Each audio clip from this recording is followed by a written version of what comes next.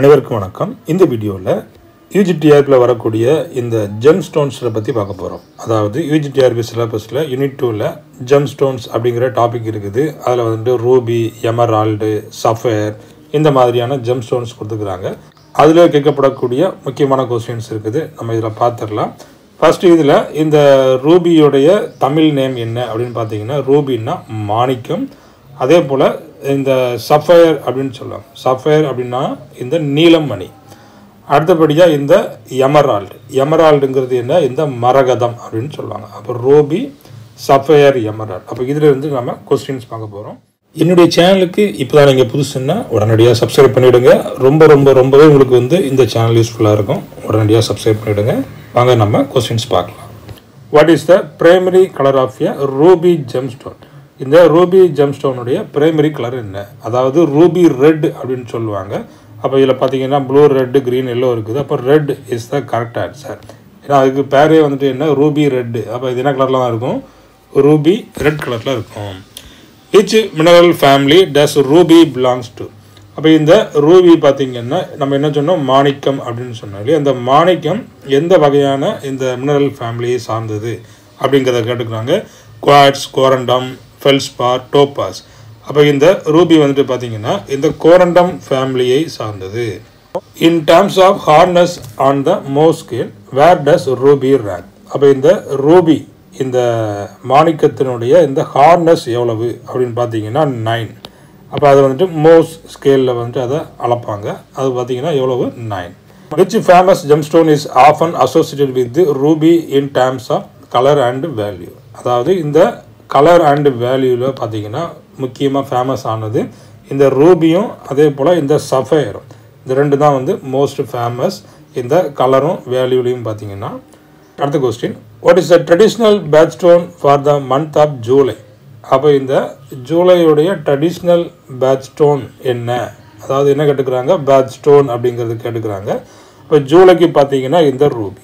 ஜூலை மந்த்துக்கு இந்த ruby is the birthstone which country is historically renowned for producing high quality rubies எந்த கண்ட்ரியில் வந்து பார்த்தீங்கன்னா ஹை குவாலிட்டி ரூபீஸ் வந்து தயார் பண்ணுறாங்க அப்போ இந்த முக்கியமாக பார்த்தீங்கன்னா இந்த பர்மாவில் தயார் பண்ணுவாங்க சரிங்களா? பர்மா ரூபி அப்படின்னு சொல்லுவாங்க ஸோ அதுக்கு அடுத்தபடியாக இந்த ஆஸ்திரேலியா இருக்குது. அதுக்கு அடுத்தபடியாக இந்த ஆஸ்திரேலியாவில் நல்ல ஹை குவாலிட்டி ரூபீஸ் வந்துட்டு தயார் பண்ணுறாங்க what gives ruby its red colour இந்த ரூபிக்கு இந்த ரெட் கலரை கொடுக்கக்கூடியது யார் அப்படிங்கிறத கேட்டுக்கிறாங்க. அதில் வந்து டவுட்டே வேண்டாம். பார்த்தீங்கன்னா இந்த குரோமியம் இப்போ ரூபியில் உள்ள ரெட் கலருக்கு யார்? இந்த குரோமியம் அடுத்தது பாருங்க the term pigeon blood is often used to describe the most desirable colour for rubies what does it refers to அப்போ இந்த பீஜியான் பிளட் அப்படிங்கிறது என்ன? Dark red with tinge of blue bright red with hint of pink intense red with no secondary hues இப்போ இதில் பார்த்தீங்கன்னா இந்த intense red இருக்கும். அதில் வந்து வேறு ஏதாவது செகண்டரி கலர்ஸ் வந்துட்டு இதில் இருக்காது. இதுதான் பீஜியான் பிளட் அப்படின்னு சொல்கிறாங்க what is a primary colour of an emerald gemstone அப்போ இந்த எமரால்டு ஜெம்ஸ்டோன் அப்போ எமரால்டுங்கிறது நம்ம என்ன சொன்னோம்? இந்த மரகதம் அப்படிங்கிறது சொன்னோம் இல்லையா? அப்போது அது என்ன கலரில் இருக்கும்? ப்ளூ ரெட்டு க்ரீன் எல்லோ அதாவது நீங்கள் எமரால்டு க்ரீன் அப்படின்னு சொல்லுவாங்க. அப்படி ஞாபகம் வச்சுக்காங்க. Emerald green is the correct answer so which mineral family does emerald belong to இந்த எமரால்டு மரகதம் எந்த வகையான மினரல் ஃபேமிலியை சார்ந்தது? அதாவது இந்த பெரில் இந்த எமரால்டு வந்துட்டு இந்த பெரில் மினரல் டைப்பை சார்ந்தது. In terms of hardness of Mohs scale where does emerald typically rank இந்த எமரால்டனுடைய இந்த ஹார்னஸ்ன்னு பார்த்தீங்கன்னா இந்த seven point five to eight அந்த ரேஞ்சில் இருக்கும். அப்போ இதில் வந்து பார்த்தீங்கன்னா eight is the correct answer which are the following is a famous variety of beryl that is off and green and can be classified as emerald அப்போ பார்த்தீங்கன்னா famous variety of beryl அதுவும் எப்படி இருக்குது? Off and green and can be classified as emerald எமரால்னாலே green தானே? அப்போ அது famous variety அப்படின்னு பார்த்தீங்கன்னா இந்த அக்வா மரைன் தான் என்ன சொல்கிறாங்க ஒரு ஃபேமஸ் வெரைட்டி ஆஃப் பெரில் அப்படின்னு சொல்கிறாங்க what element is responsible for the green color in emeralds. What element is responsible for green color in emerald? அப்போ இந்த க்ரீன் கலருக்கு என்ன அப்படின்னு பார்த்தீங்கன்னா இந்த குரோமியமும் வனேடியமும் ரெஸ்பான்சிபிள் அப்போ அயன் கிடையாது காப்பர் கிடையாது நிக்கல் கிடையாது. அப்போ இந்த க்ரீன் கலரின் எமரால்டு காரணம் என்ன? இந்த முக்கியமாக இந்த குரோமியம் அடுத்தபடியாக இந்த வனேடியமும் உண்டு. அதுவும் ஒரு ஸ்மால் பர்சன்டேஜ் இருக்கும். அப்போ இது மெயின் கலருக்கு காரணம் என்ன? Chromium.